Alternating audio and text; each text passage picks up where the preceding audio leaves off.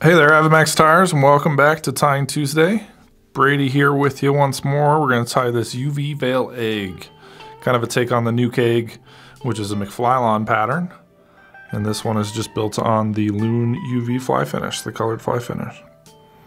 So we'll throw our hook in the vise. This is a cool egg hook from Daiichi, pretty unique hook.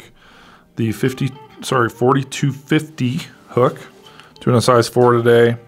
It's a nice salmon hook, which will work well for all your different egg imitations. Comes from the conventional world and crossed over into our fly tying world here.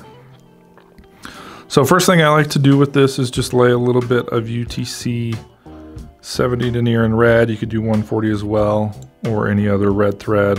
I just build a little bit of a base and that'll help. So when you start to lay down the UV finish, if you have a little bit that's not properly diluted, maybe it's just a little bit thin and clear, uh, you just kind of get this red pop underneath it.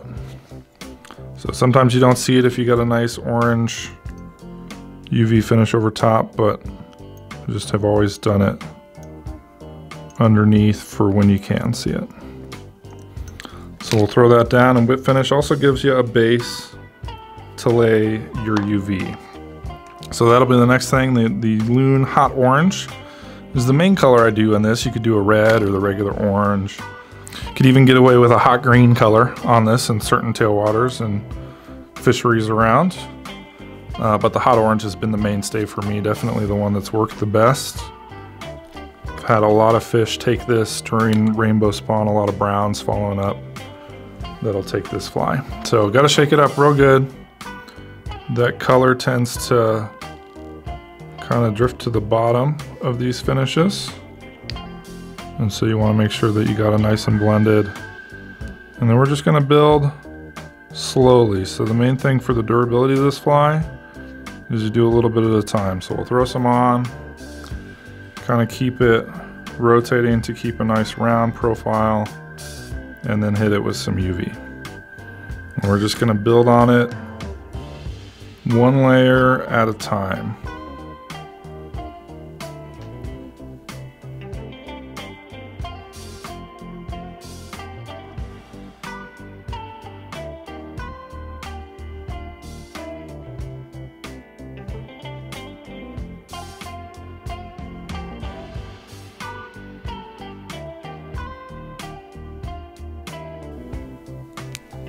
And you definitely want a rotary vise for this guy.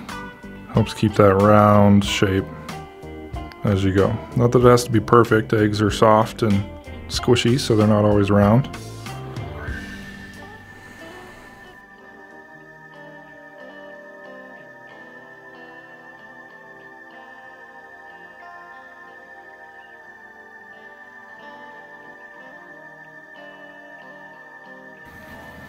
I'm just building up to, you know, like a four or six mil overall.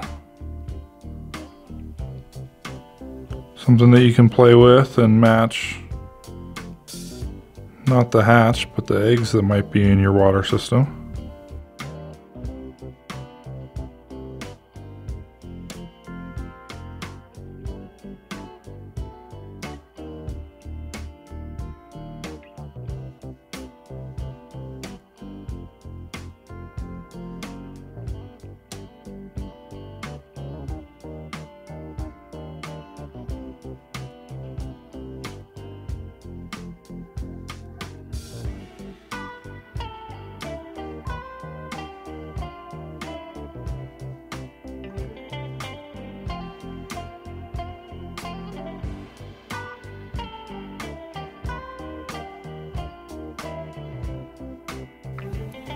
Once you're happy with the size, that's probably about big enough. You can go a little bit bigger than that, but we'll throw that veil on here now. So this is the Hareline egg veil in the milky white. Need to get our thread started first.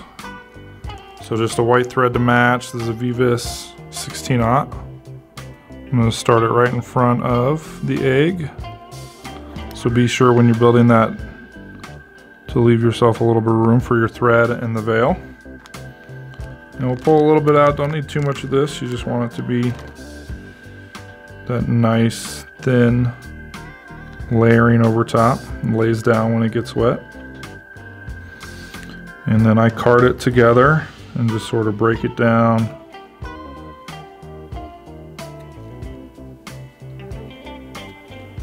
And stack it up nicely so you got fibers all going in the same direction.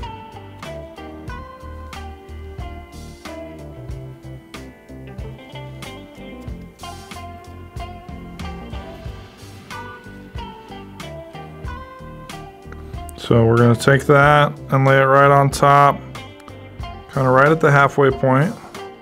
Just want to make sure it's going past the egg and some of those strands are going all the way past that hook bend. Take it and lay it right on the top there. Capture it with our thread with a couple of wraps. And then I'll sort of push it with my thumb down and around the egg. And then we're going to take the other half and split it around the hook eye and pull it right underneath. So we'll go through our thread as well.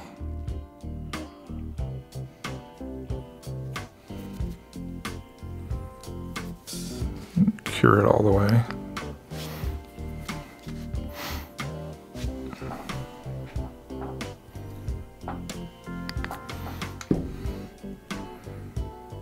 I'm pulling it up and under here. And then we can throw our thread up and around it. Sort of walk back over top. and kind of check it out all around. And then you're gonna whip finish over.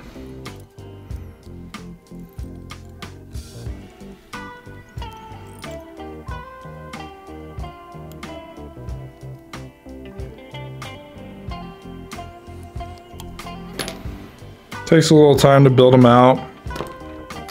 Make sure you cure them. This one I didn't cure all the way before I got that egg veil on there, but just hoping it stick down to the egg anyways. Kind of a dirty little messy fly. That'll put a lot of fish in your net.